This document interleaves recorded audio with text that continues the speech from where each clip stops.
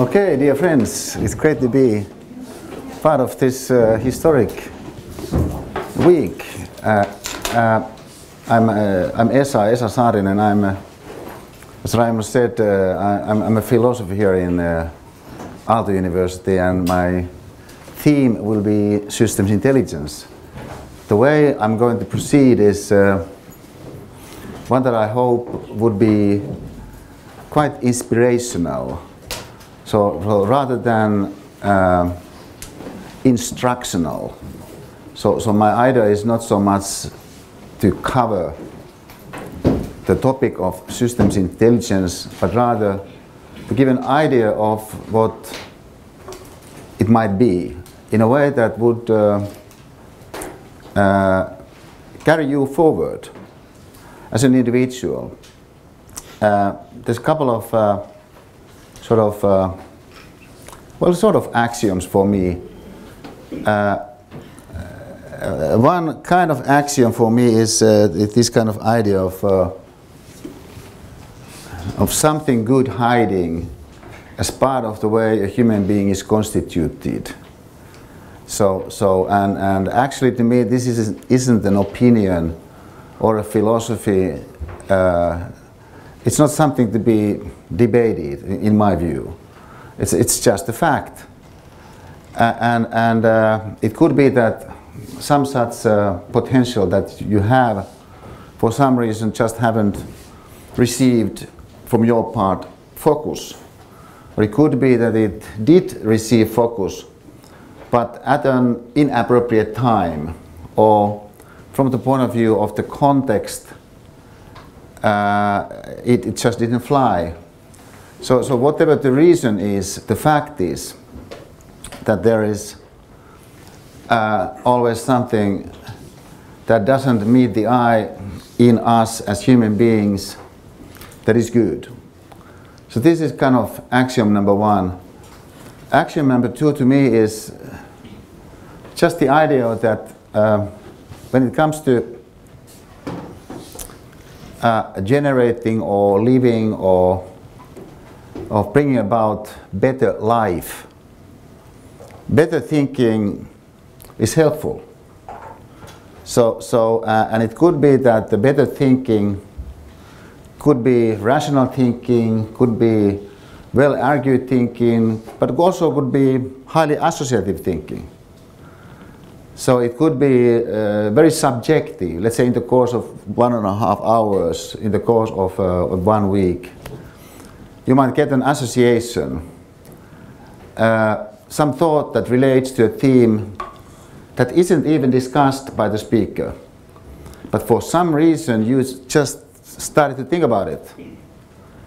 So, so uh, it's that kind of uh, better thinking facilitates or gives a platform for better life. That is the other kind of axiom for me. Uh, so you can say this is uh, this sort of broad philosophical, in some sense, thinking.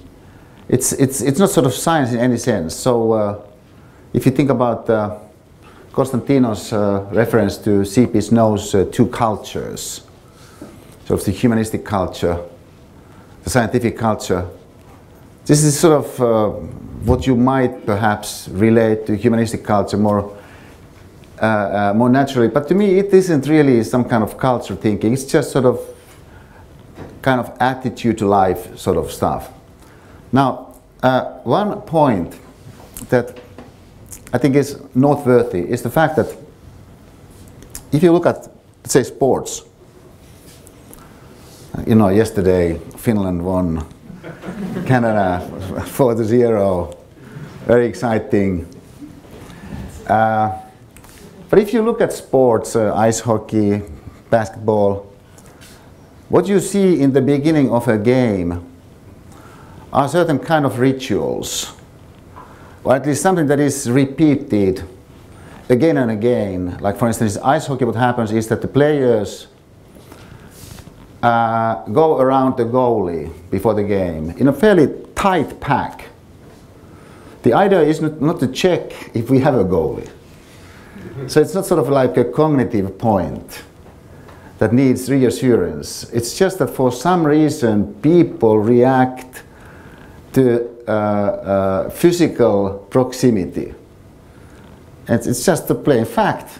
Or, or, or in, in basketball, what you see before the games is that players are announced to the court, and as they come, they greet one another. And, and you know, these are huge guys. So it's, it's quite an event, you know, it's just a sort of give me five kind of thing. Also in, in NBA, what you see nowadays, quite a lot is that uh, players jump in the air and sort of collide with their, their, their, their, their chests. I'm not recommending this very widely for the BOR context, but of course, you know, of course it's a possibility, you know, uh, to sort of create energy with, uh, with a minimal investment. And the minimal investment is, for instance, doing a give me five or looking at the person in a particular kind of way. So, so with this in mind, let me suggest that we would take here some 30 seconds and generate here a beautiful moment of sort of tender and dynamic moment of meeting. So probably involving give me fives, maybe shaking hands, power hugs, cheek kisses, you know, all forms of dy dynamic, tender, beautiful uh, uh, encountering acts. So please stand up and, and generate. all right, thank you very much. Beautiful, beautiful.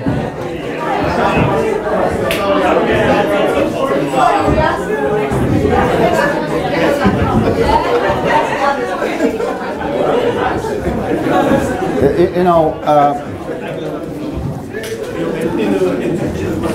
as, as, as Raimo said, my, my lectures here in Aalto are quite popular. So, you know, typically my, my lectures are taken for credit by some 500 students. But even more come to the lectures themselves because some students just uh, come there to, to, to sort of uh, inspire themselves and, and uh, not taking it for credit. They might have taken it for credit, let's say, two years earlier.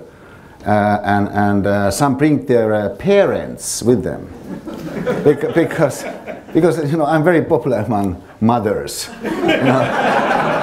and, and, and, even grandmothers, and so, so, so, so I, I, think it's, it's, it's, great. But but you know uh, I like to start a lecture this way. Uh, first of all, I'm there at the door to greet everybody uh, each time. You know, 500, 600 students uh, or people, uh, and, and then, then, then uh, uh, before the lecture itself starts, I point out the fact that it's an interesting group of people. So, so, uh, so let's greet one another in a tender and dynamic way. And then people do what you just did. And, and you say, to me, it's, it's like something beautiful.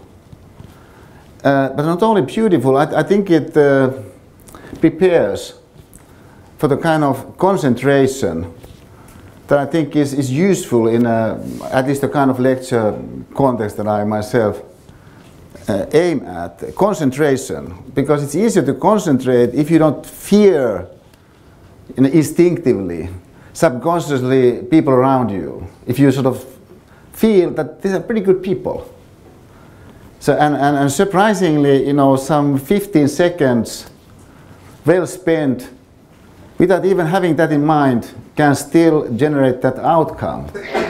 You say, isn't that sort of intelligent given the systemic context?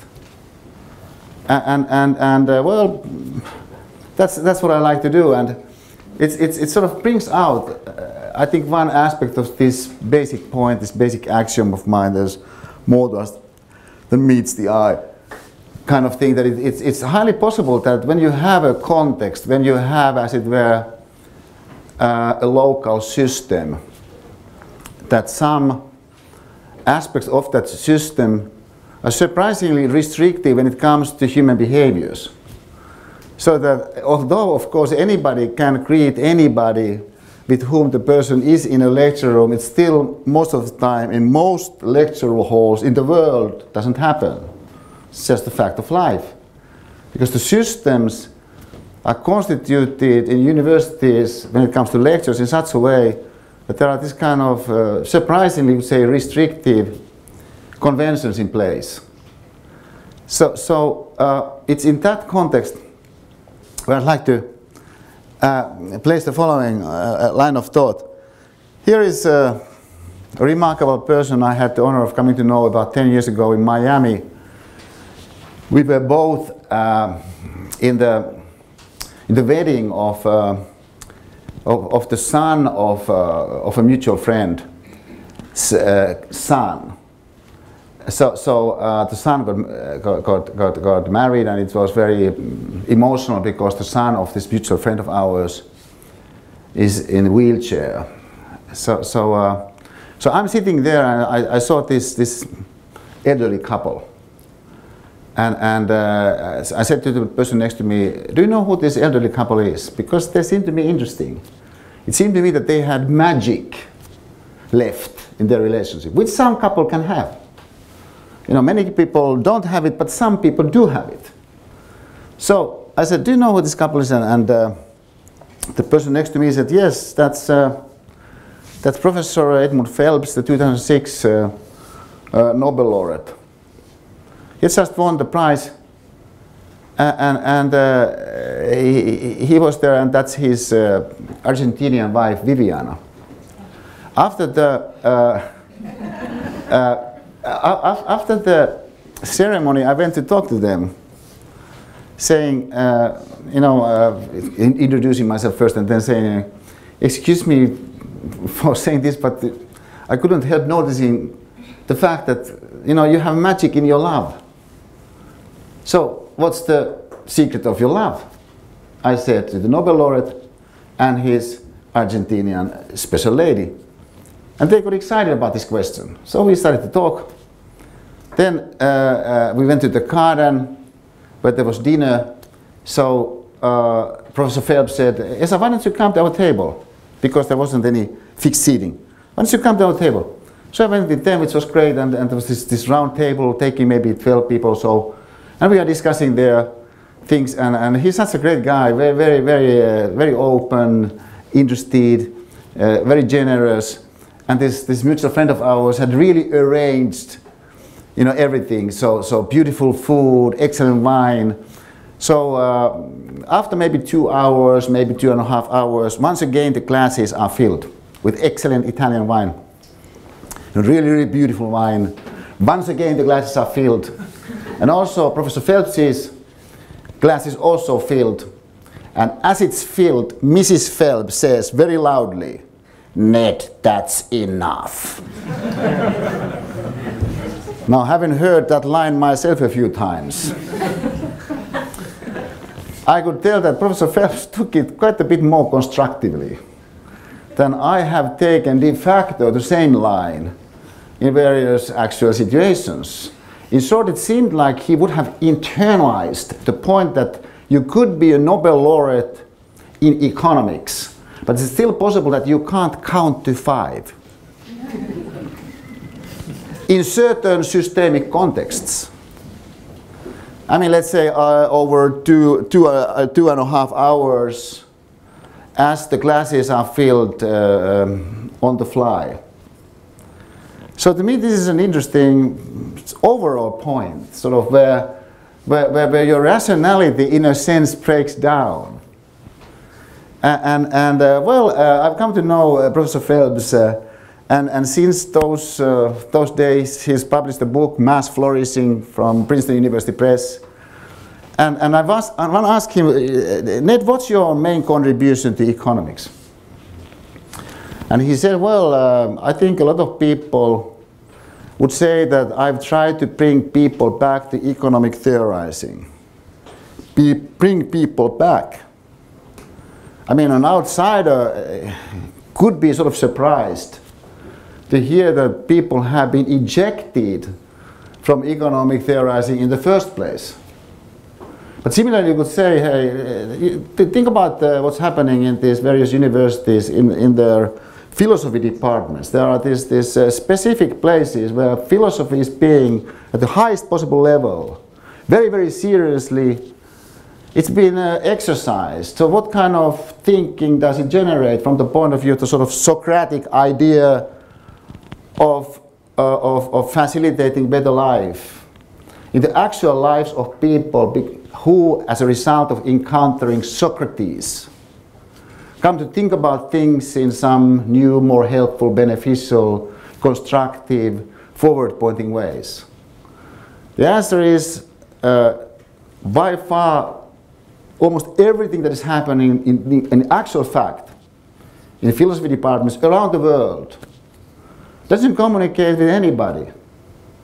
Not even with the, the next department's other experts. Be it those bi biologists, be it those uh, psychologists, sociologists. I mean, it's, it's rare for these departments, actually, any of them really to talk to one another. You say, but isn't this one of the key points of uh, what it means to be a human being, so to be able to communicate, you know, to sort of reach out to the other one. This is the context, from my point of view, of the, you could say, uh, uh, initiative of systems intelligence, which uh, Raimo once described in the following way. I, I, this is my sort of version of what Raimo said, but, but let me say it this way. Uh, I mean, Raimo's an engineer. To me, he's such a brilliant engineer. But he's also, I think, uh, the kind of uh, um, engineer that you would want to see more of in the world. But this was uh, Raimo's point you know, uh, an engineer looks, looks at some, uh, as, some, some system from the point of view of bringing in uh, an, an, an effect upon that system. With the result that there is some change that happens which then moves the whole thing forward. And this is fine.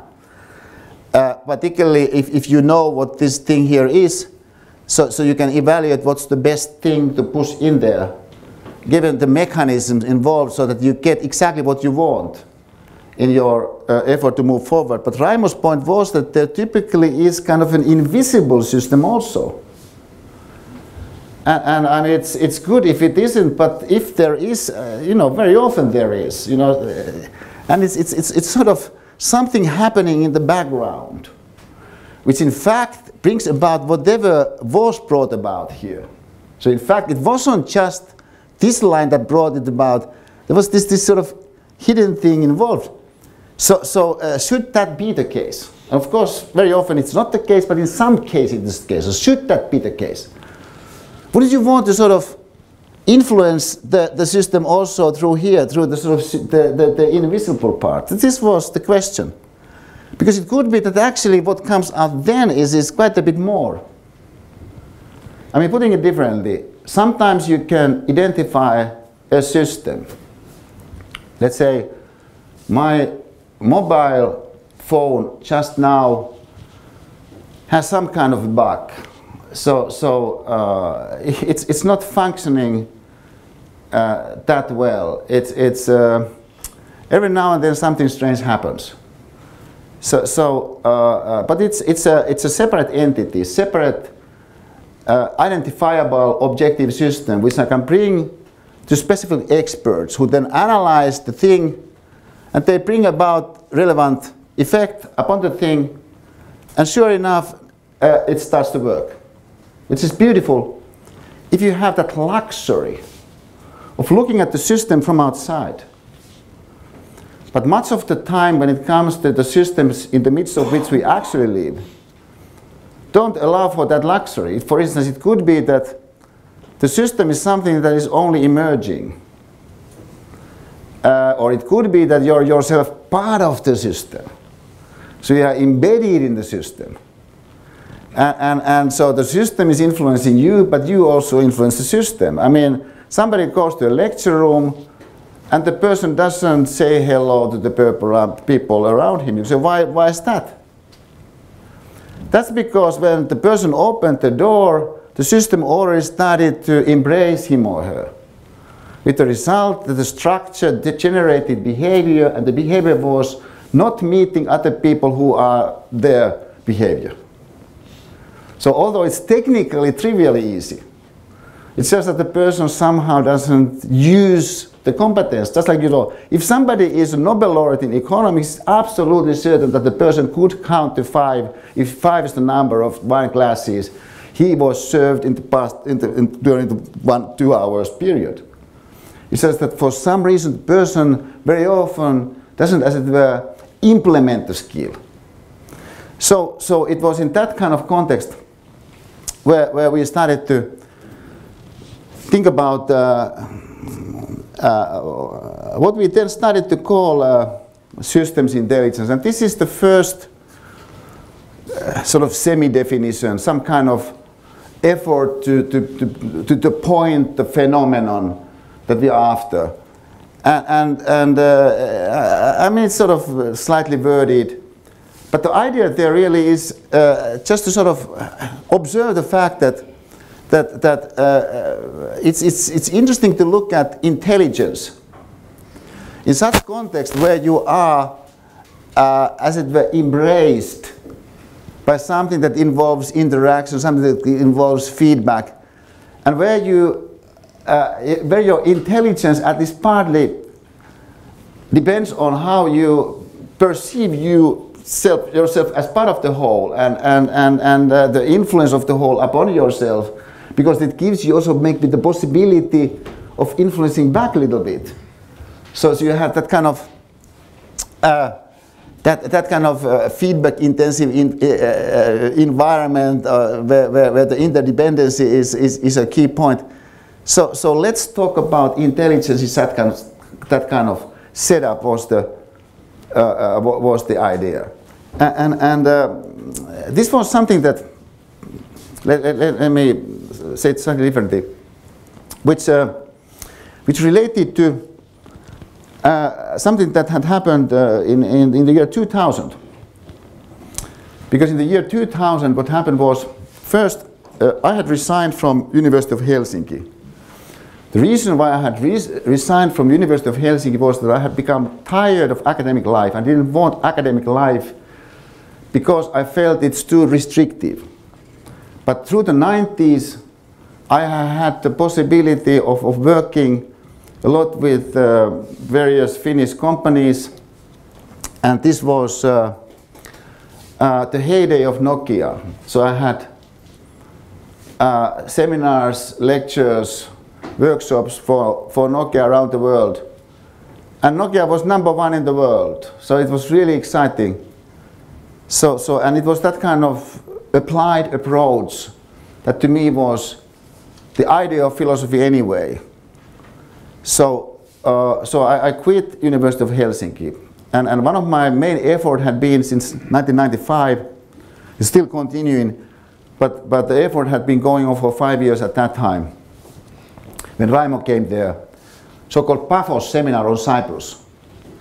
So, so this, this, uh, the idea there is to, to, to bring people to Cyprus, to a nice environment, uh, detached from their immediate concerns uh, and, and, and, and, and uh, job concerns and so forth. Uh, nowadays the group is about 100 people, 120 people, fairly big group and work like we are here working for hour and a half. Sort of each with his or her own thoughts. So, but it takes for one week. So Raimo was there in 2000. We had known one another uh, uh, since the 80s.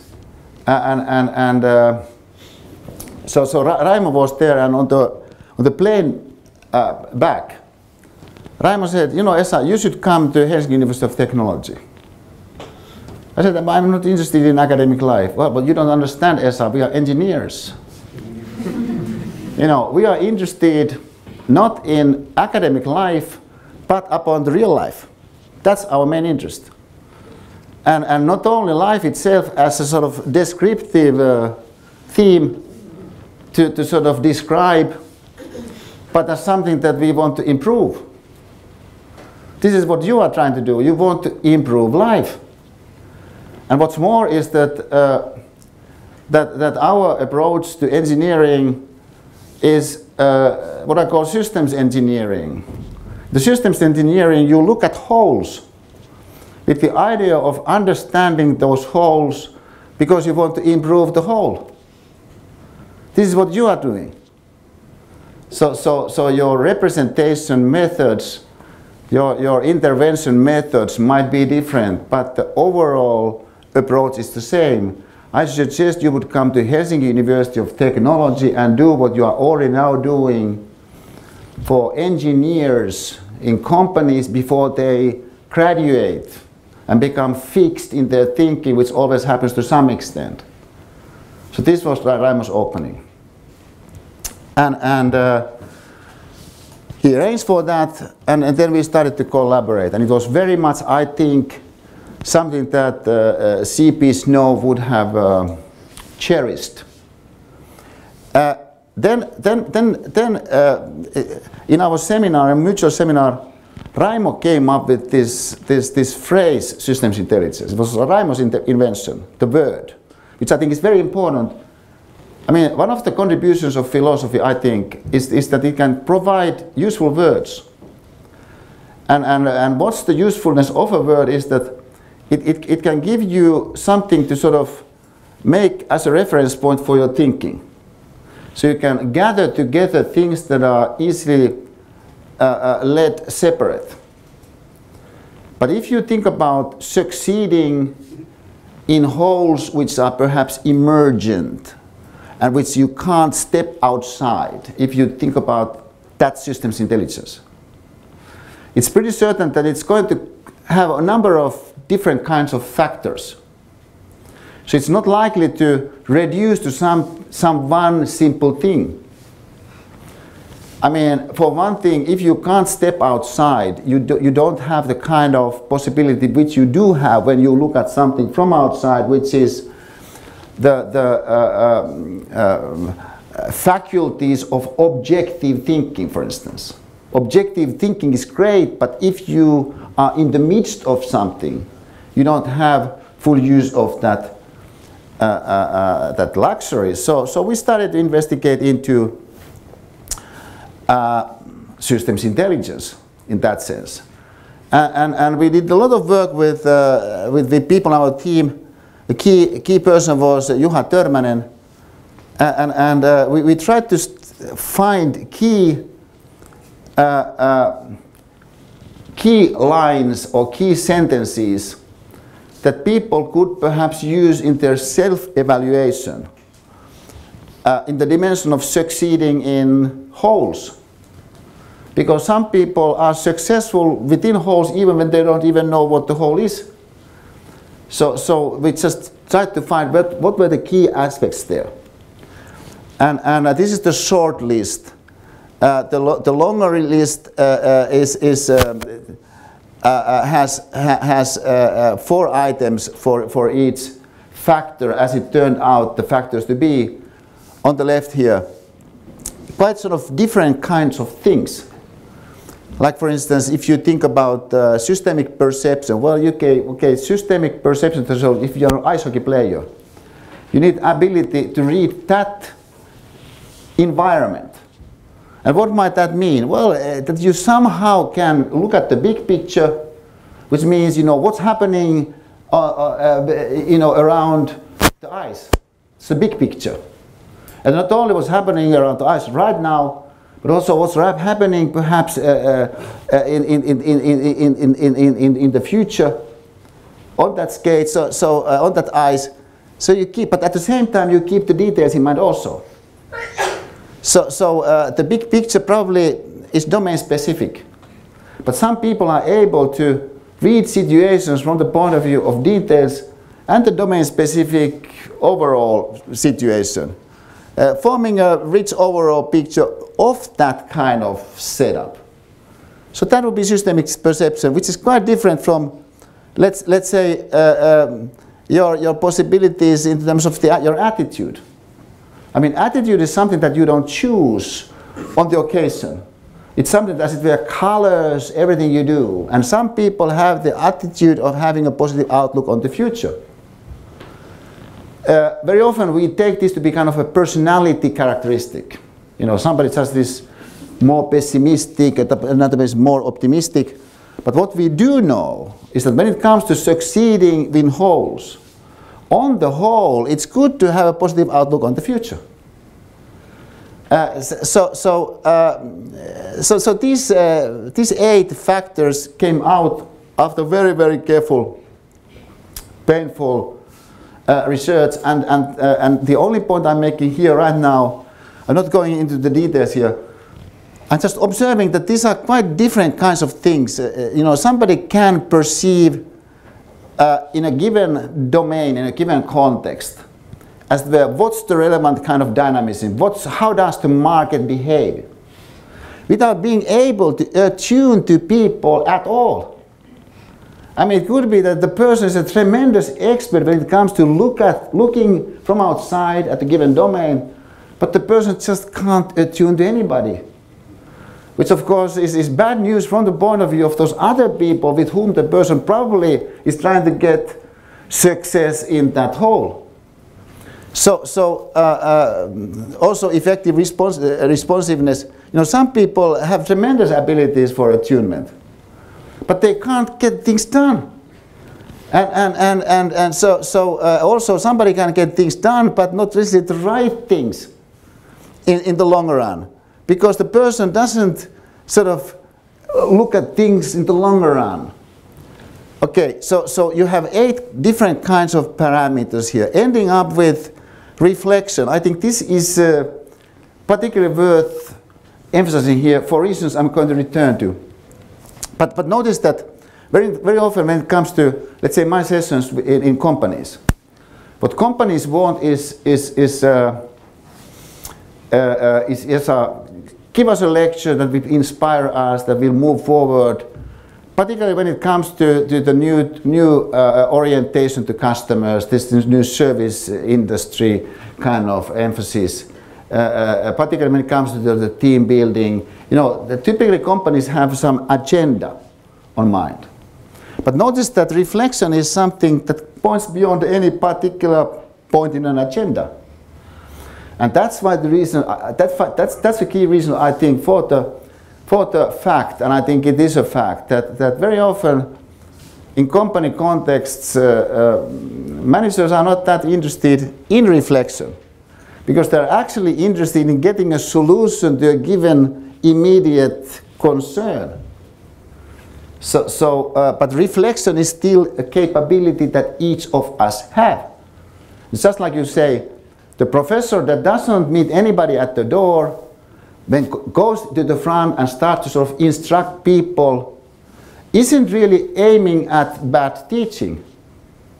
I mean, the, the, the, professor isn't aiming at people not reflecting, for instance. It's just that he believes that this is exactly what the professor should do. The professor should be the expert of the theme and tell students about the theme. If they don't want to internalize it, so much worse for them.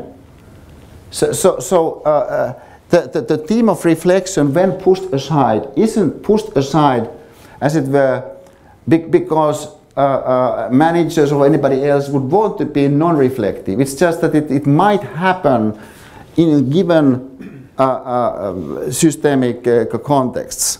Now, with all this in mind, let me let me show you a little video cut. This is two minutes. And, and uh, it, it, it's, it's going to come from the film Invictus, uh, in which Morgan Freeman is uh, playing the part of uh, uh, Nelson Mandela.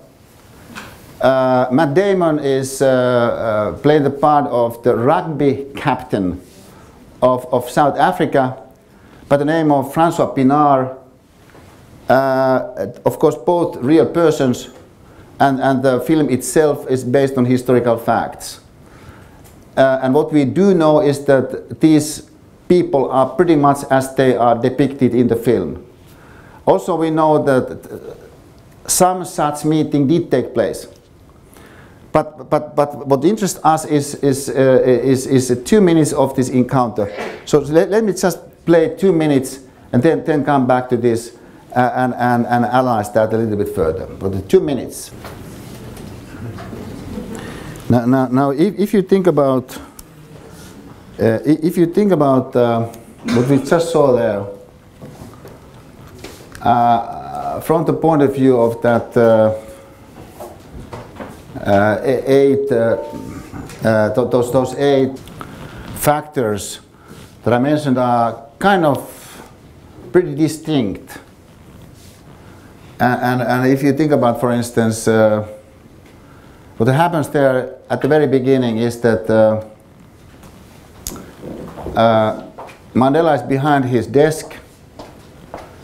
The guest steps in, but Mandela drops everything he was doing at the moment the guest arrives. This is possible for a human being to sort of immediately seize the situation, sort of uh, effectively respond to what actually now is happening. And, and uh, also, of course, it's possible to show interest in the other one. Tell me, Francois, how is your angle? Uh, it's, it's, it's possible to do so in a kind of uh, air that is warm. I mean, if you think about uh, something like uh, atmosphere leadership, the, the, the warmth versus coldness as, a, as a dimension there, you could say quite a remarkable atmosphere leadership on the part of Mandela in this clip, demonstrating warmth. And more generally, you could say uh, uh, desire to operate through uh, the dimension of attunement, which, uh, of course, uh, anybody has. It's just that it could be that various systemic contexts could be such that they don't immediately encourage the use of it. Now remember uh, Raimo's initial point regarding uh, systems engineers in his view. The idea was that, that uh, we, we want to look at wholes, but not just look at them, we want to improve wholes. Now let's assume that, that uh, part of that whole one wants to improve is constituted by people. And let's, uh, let's assume that as you uh, look at that whole partly constituted by people, involving people in the genuine sense of the word. So you haven't abstracted to, let's say, to the concept of, uh, of, of a labor market, claiming that, well, you have people in your theory because you have the concept of labor market. So, so uh, if you have genuine people you have the ability to attune and to react to attunement. So, uh, should it be the case that one would want to improve upon a given situation from the point of view of uh, systems intelligence uh, theory, if, if you use that expression? You say, well, one possibility would be to evaluate oneself in these eight dimensions and, and, and do those uh, uh, also in a way that is perhaps domain specific because it's maybe likely that uh, at your laboratory, at work, it could be that, that, that you actually are more successful, more systems intelligent in that context than let's say in your marriage. This is the case with uh, quite a few people. And this is because in the marriage context, it's surprisingly difficult for people to sort of attune to the other one. And, and also it could be that uh, uh, positive engagement is surprisingly difficult after all these years sort of thing. So the person could uh, evaluate himself or herself using the systems intelligent inventory and hopefully doing that realistically. Of course, any inventory is useful only if you do it realistically. In fact, you might ask somebody else to give some feedback regarding your evaluation if you want to be realistic. But you want to improve things. So what might that mean? That would mean that uh, as you score yourself, perhaps uh, with the help of, uh, of, of, of, trusted friend, you then look at what are some of those, um, the, the, those, those uh, um, aspects in, in your uh, uh, attempts to succeed within wholes where you might make a particularly strong headway with uh, attention to that particular dimension. And, and uh, it's, it's here, I think, where this, this um, Mandela clip is quite powerful towards the end. Towards the end, Mandela asks his uh, guest, uh, tell me, Francois, what is your philosophy on leadership? He's taking seriously his guest. Tell me, Francois, what is your philosophy on leadership? And uh, the rugby captain answers, by example, sir. I've always lead, taught to lead by example. That is right. That is exactly right. I mean, you, you, you can't really do anything if you don't commit yourself to doing it. If you don't demonstrably do it yourself, how can you expect others to do it? Those that you're supposed to lead. But then Mandela goes on and says, but how do you make people to be even more than they believe they can be? That is interesting to me. Notice what this means. This, this way of posing a question, how do you make people to be more than they believe they can be? I believe it points to that uh, axiom I mentioned in the beginning, to the fact that there's this kind of hidden dimension in people. It could be that people themselves disregard that dimension. But as a leader, you know, uh, uh, maybe you would want to focus upon that. So let's assume that as a leader you do focus upon it. And so what do you do? I mean, putting it differently, if you are involved in a whole, in a system in which you have people, and let's assume that it is a fact, let's assume, that, that people might believe that they are less than they actually can be. As a leader, isn't it in your rational interest to try to somehow make people come out with that, uh, that hidden dimension of theirs because you believe it exists? This is the question. So the question of systems intelligence now is, how are you intelligent with respect to such a context? Now, let's assume that you're an engineer by training.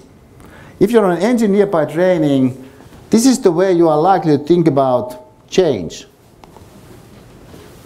You, you identify the objective factors and then you push in the relevant kind of uh, uh, uh, input with respect to those factors and you get the effect.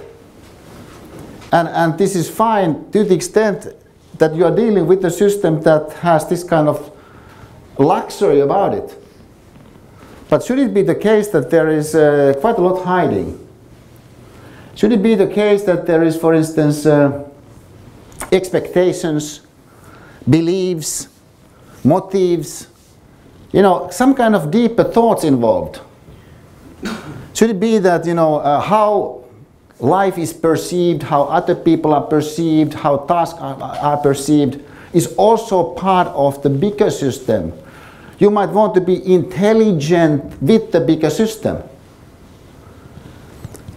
And, and, and this, is, uh, this is the context, I think, where we've tried to uh, provide a conceptual help for people with the concept of systems intelligence.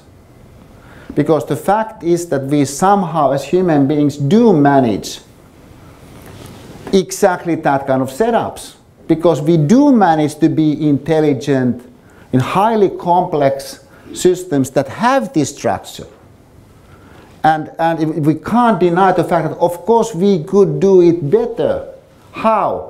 Well, for instance, if you have tremendous abilities to read the dynamisms of various situations and you have tremendous capabilities of, of uh, moving things forward immediately, but you don't have such uh, uh, abilities to control your emotions as is needed if you want to act wisely.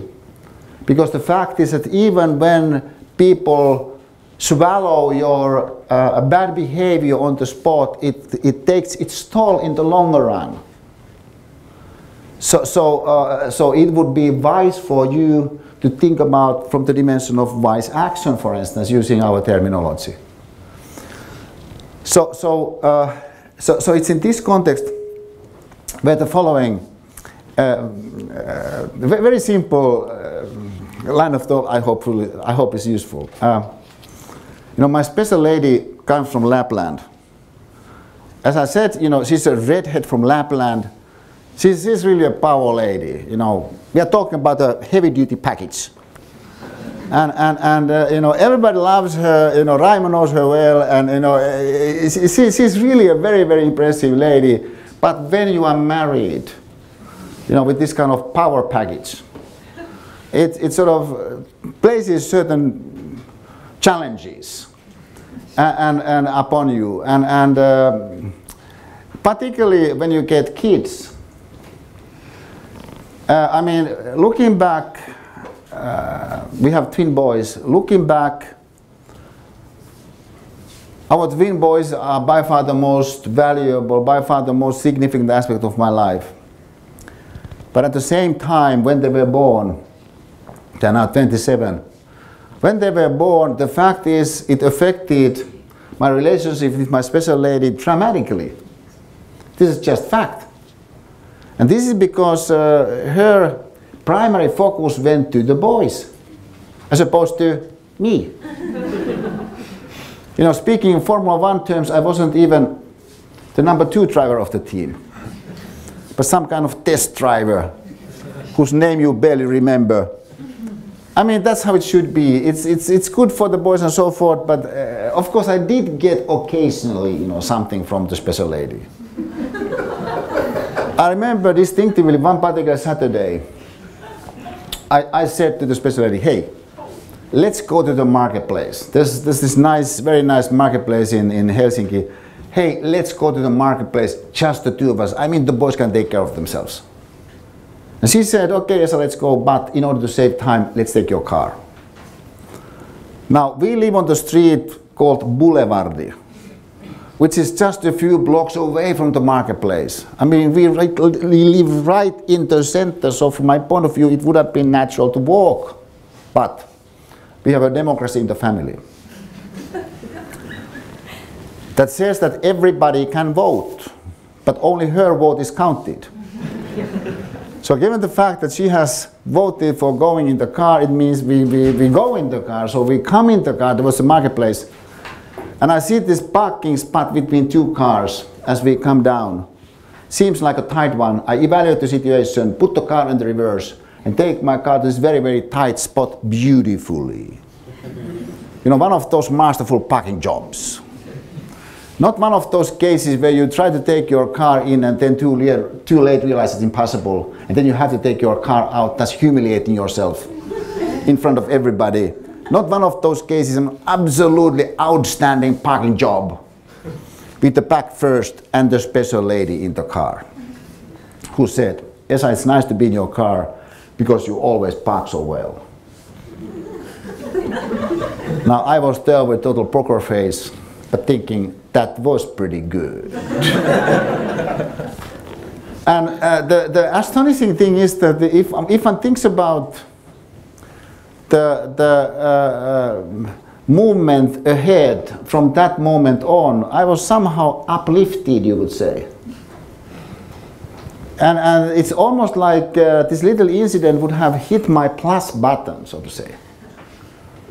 And, and of course, this is, you could say, sort of naive conceptualization, plus button. But if you think about this episode between uh, Mandela and the rugby captain, you could say, well, the rugby captain probably felt appreciated, respected, uh, in a way that in a sense you could say that his plus button was hit several times. As he was 10 seconds into the president's office, 10 seconds.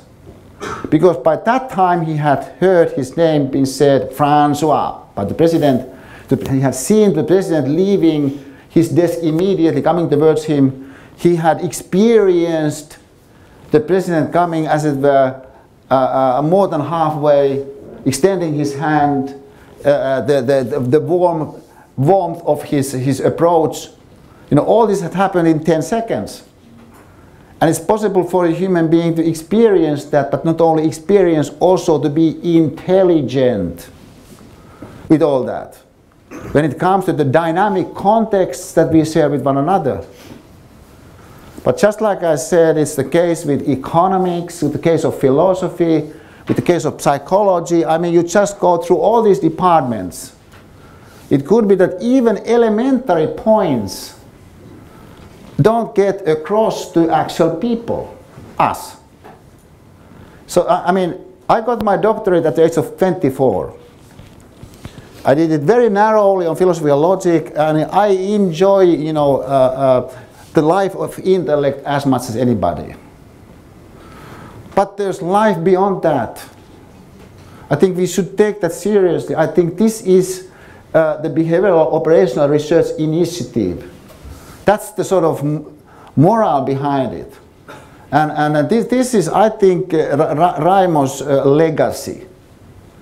And, and, and it's, it's, I think it's such a powerful, such an important legacy. Now, think about it uh, from still slightly different angle. And, and uh, please excuse me for sort of uh, uh, making what seems like a side step, side step. But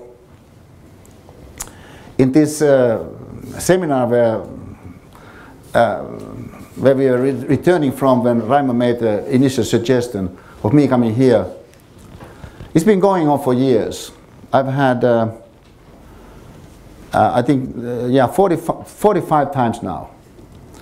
So, so uh, once there was uh, one very successful IT guy and, and his really tremendous lady. But they had a problem of getting a child.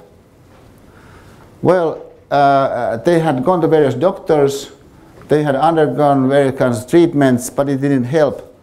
Well, they came to the Paphos seminar, and it did help. Okay. And I mean, uh, it's sort of freaky, but it can happen.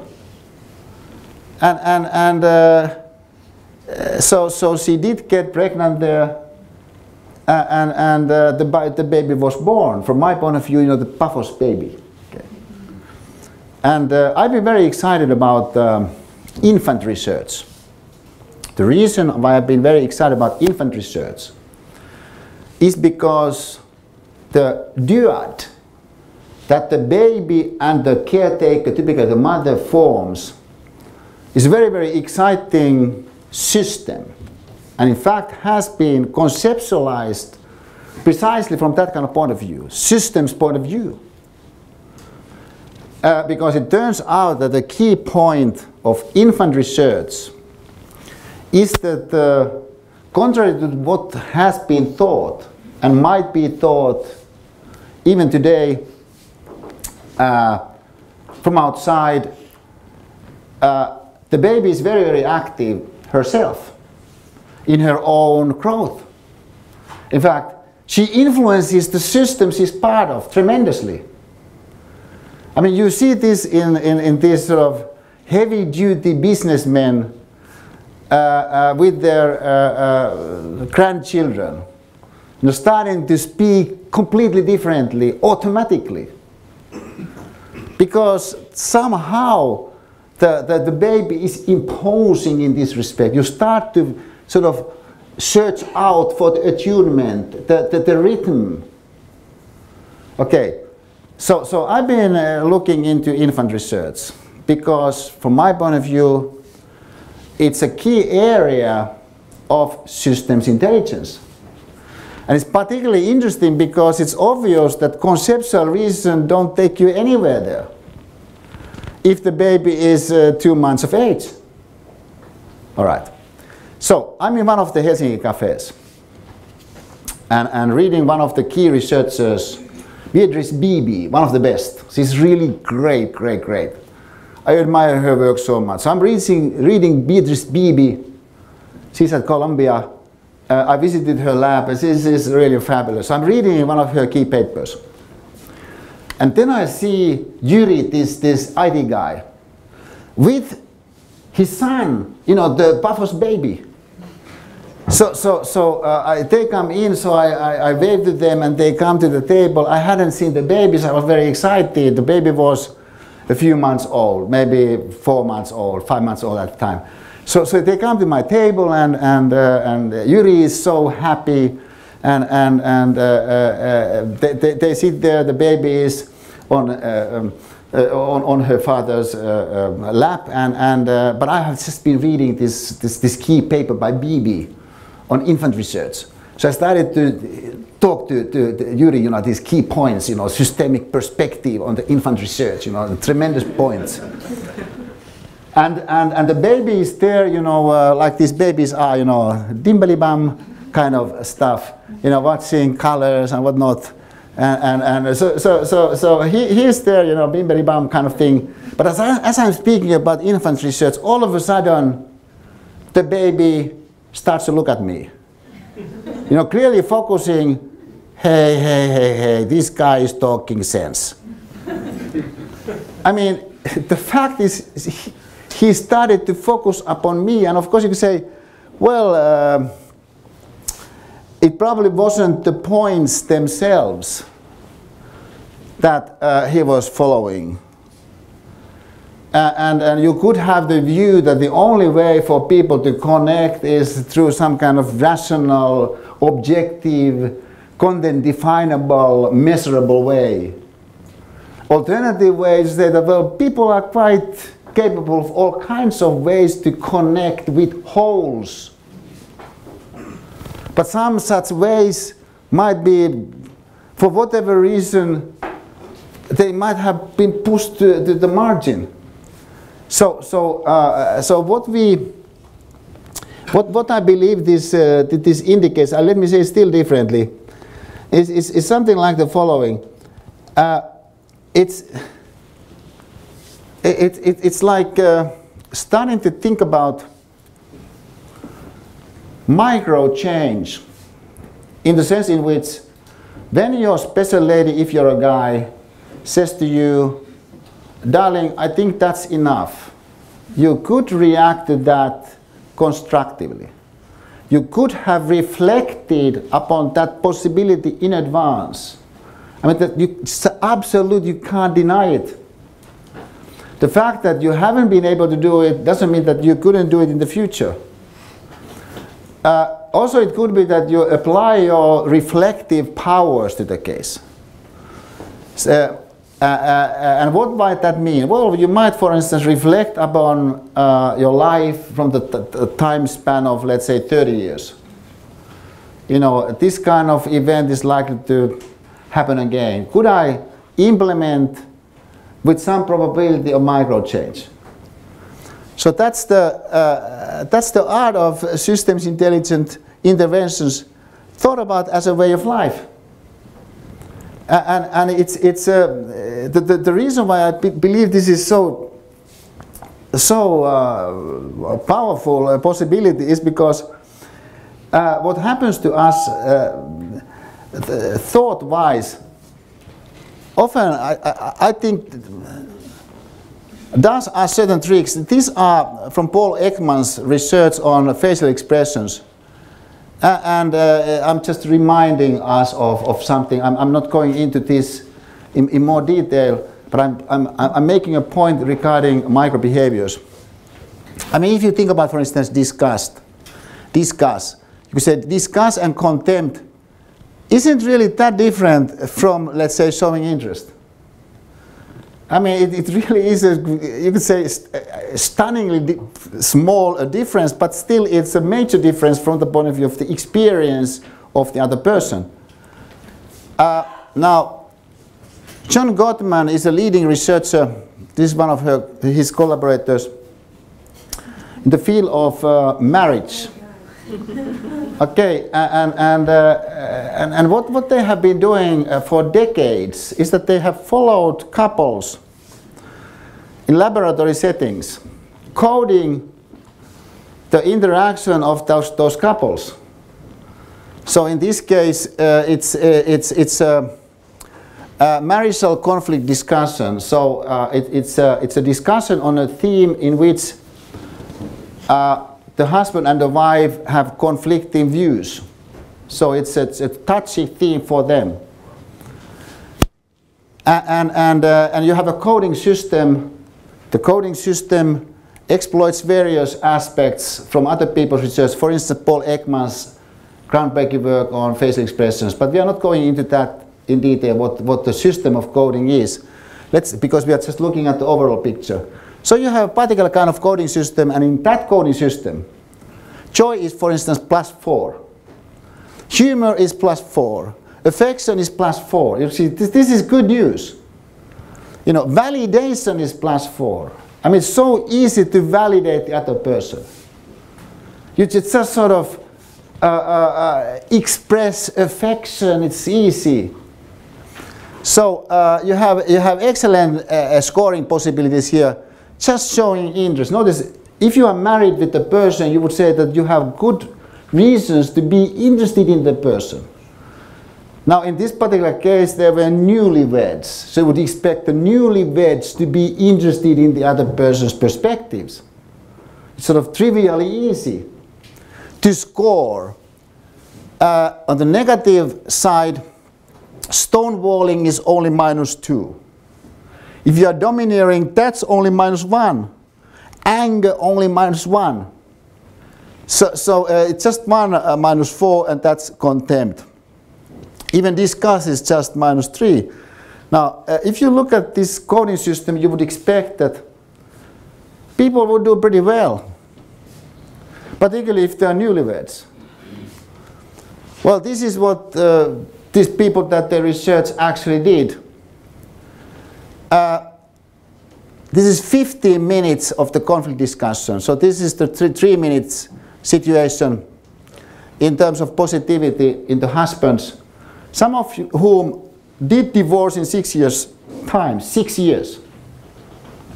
So you back, you go back after six years to the couples because by that time you know did they divorce or did they not divorce.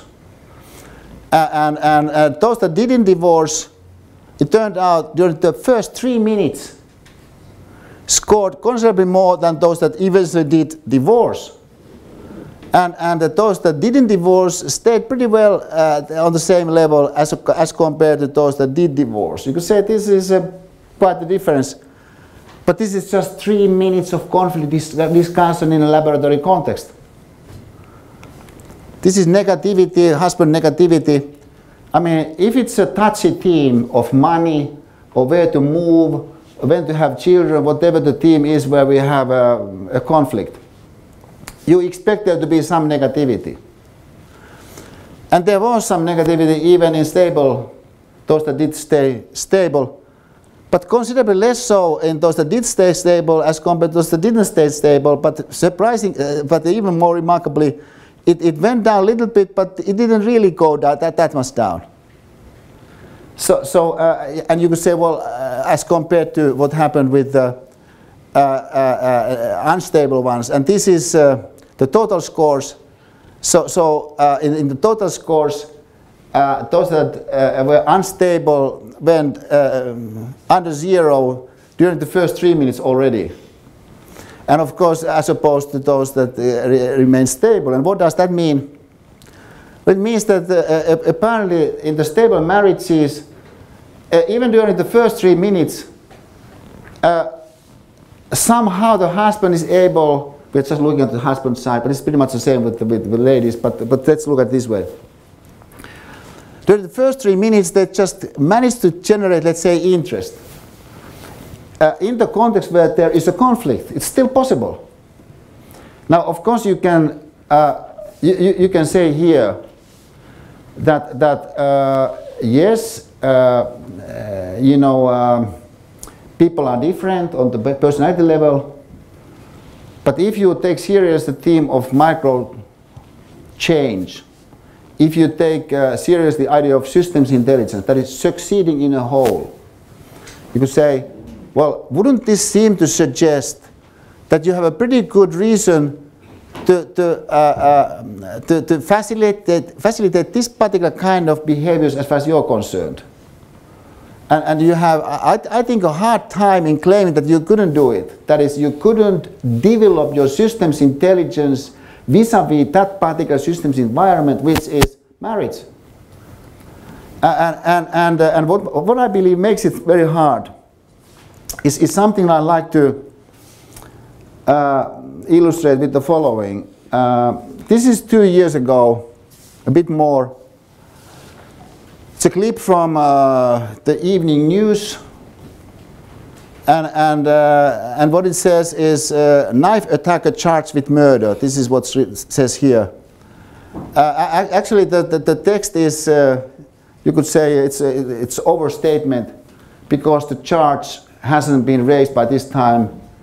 It had just happened, this, this uh, knife attack on me, which, uh, uh, which, which was investigated as a murder attempt. This happened just uh, in the other building over there, which is now being renovated, where I used to have my lectures. So on the way to the lecture scene, I was attacked by a disturbed guy who tried to kill me with the knife that he, that he was hiding. And, and uh, he offered a bag, what he uh, uh, claimed is a present. So he came towards me and said, uh, Esa, I have a present for you. But then when he was close, he hit with full force with the knife he had been hiding in his left hand, a knife which he had bought that morning.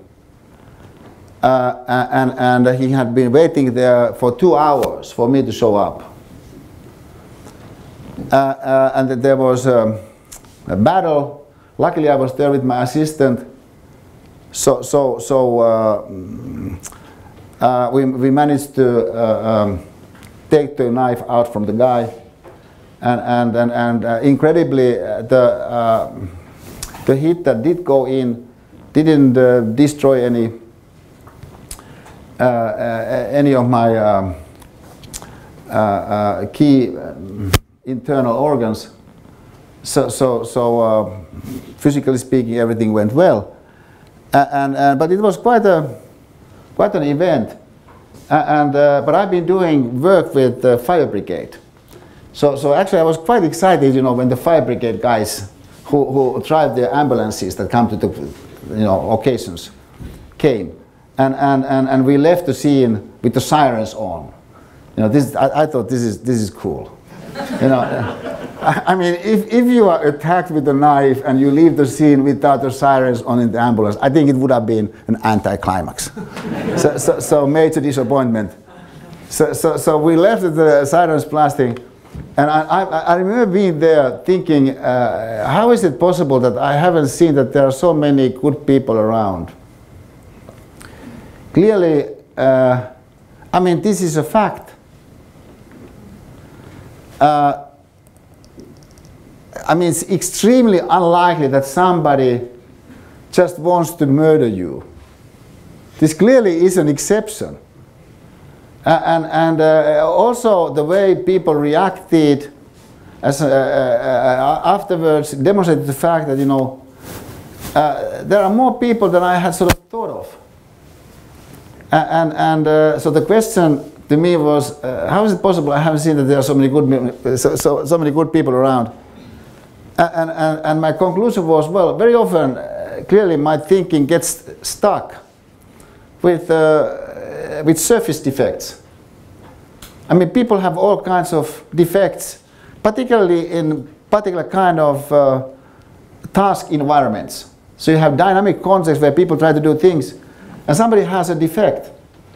But it could be that the defect is actually just a surface defect. But wouldn't your systems intelligence be something where you want to look at the whole, also from the point of view of the sort of Mandela kind of principle, wanting to bring from people the kind of dimensions out that perhaps they themselves don't really believe in. Meaning, this, this, uh, this, this, this idea of, of, of uh, attitude of, of looking in some positive way to the world.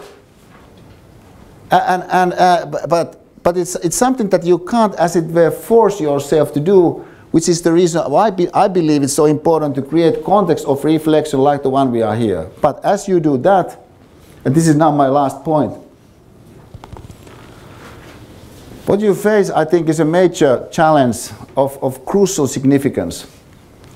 This is something that uh, uh, cognitive science uh, apparently uh, pretty powerfully has demonstrated to exist this kind of two different kinds of networks that are engaged if, if you are engaged in task-oriented looking out kind of situation. So you are focusing upon a task. Particular kind of network is activated. As opposed to if you are uh, reflectively looking in, So, so uh, uh, you have two networks, and as one network is increasingly engaged, the other is decreasingly engaged. But uh, adequate developmental opportunities for appropriate lapses in the outwardly directed attention uh, is, is, uh, is, is, is, is something that may be important for well-being and for optimal performance on focus tasks also. What this, from my point of view, I mean, I'm, I'm just a philosopher, so, so uh, I, I look at things as it were on, on some kind of rule of thumb level. Uh, I would say what this means basically from the point of view of our actual lives is that you can't engage at the same time in task-oriented thinking and free reflection. I mean, this isn't possible. Is something like this is actually the case. Now, what does that mean? Well, that means from your point of view that if you can't engage at the same time in task-oriented, outward-looking, uh, uh, productive thinking and free reflection, it's highly likely that you push aside this parameter of systems intelligence. And I would say this is exactly what happens most of the time to even the, the most intelligent people we are dealing with. And, and, and this means that, that the, the, the, the, high intelligence of the person, the IQ of the person, doesn't really help that much when it comes to really uh, succeeding in, in what Raimo in the plane said that, that, that, that his effort in life is what the engineer, systems engineer's idea is, which is not just to describe something, but to improve wholes. We do need reflection. And it's uh, to repeat, but that reflection uh, leads us back to ourselves. And then that's why it leads to that realm that Konstantinos referred to with the C.P. Snow to uh, uh, cultures uh, characterization. That's the, that, that, that, that's the realm of humanistic culture more or less. It's, it, it provides ways for people to reflect because the, the uh, let's say a novel, a no novel is not likely to be useful in terms of you finding a solution to a particular well-defined task. But you can't take away the fact that, that there are these different dimensions in you that you actually already now have as capabilities. And the possibility that, that uh, this, this, this overall conceptualization, I, uh, I, I, believe, usefully suggests is, uh, is, uh, is a view upon us uh, uh, from the point of view of improvement. And, and, and that's why I would suggest you to also to take our little uh, little test on the on the, on the website because it, it, it, does give you feedback regarding where your strengths uh, on the basis of this uh, measurement uh, scale where your strengths are and where your relative weaknesses are as compared to other people that have uh, uh, that have already made the test. And but but please do it realistically and, and do it from the point of view of that kind of overall, re remembering the, the overall point uh, I, I, started out with, which, which is uh, this, this point that the, there is more to us than meets the eye, more that is good. Now, uh, let me close all this with, with, with yet another. This is something quite, uh, I think, uh, powerful from uh, Atlanta Olympics. So, so it's the basketball final where we go to the intermission where Muhammad Ali is going to come to the court in order to receive uh, a replacement for the gold medal he had won in Rome Olympics, which original medal he had lost. So he's going to get replacement in a sort of semi-official little ceremony.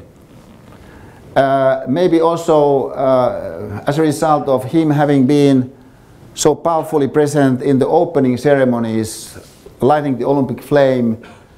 Uh, I would say anybody that saw it uh, never forgets it because it, it, it, was so touching given that uh, uh, Ali has Parkinson, so, so uh, he's there with his trembling hand, lighting the Olympic flame, because although he has lost uh, control over his body, he hasn't lost his human dignity. So he's going to come there, he's going to get the, the, the, gold, uh, and, and uh, uh, if you follow him closely, you can sense the emotional momentum building. Then when he gets the gold, uh, I think very touchingly, he picks it up and, and kisses it. And as this happens, please pay attention because in the game itself, there is US Dream Team playing against uh, Yugoslavian team. And what happens after Ali gets the goal is that uh, the Dream Team guys come and hug Ali. So please pay attention upon the effect this creates in one of the greatest athletes of all time. Okay, I'll stop it there. I, I, I think it's, it's, it's such a, uh, such a powerful uh, reminder of, uh, uh of, of, the power of uh, human acceptance, human warmth, uh, also physical touch. It's, it's uh, uh, I mean, one is tempted to say that, that Ali there almost physiologically changes right in front of our eyes and still the difference in terms of the objective uh, factors to what was there just a moment before is, is, is, is you could say absolutely minimal. It, it, it, it, would have been an okay ceremony even without this continuation to it, brought about by the, uh, by, the, by the systems intelligence of the Dream Team players. And even among them, uh, the first player to come, who sort of tracks the others to the situation. And, and, and thus, thus makes it uh, more than it would have been otherwise. So, so, so that's the uh, kind of uh, vision regarding uh, succeeding in wholes, su uh, succeeding in dynamic contexts, involving people and having the kind of plus button dimension hiding there somewhere that, that uh, we've tried to conceptualize with uh, systems intelligence uh, uh, concept and, and, and which represent from my point of view the kind of integration of the two cultures really that C.P. Snow was talking about in, in, in terms of wanting to look at uh, wholes from the point of view of, of, of, improving the wholes, but taking into account uh, all that is there is in those wholes, which is more than just what is there as, as objective factors in as much as there are people involved. Okay, dear friends, I'd like to stop there. Thank you very much for your attention.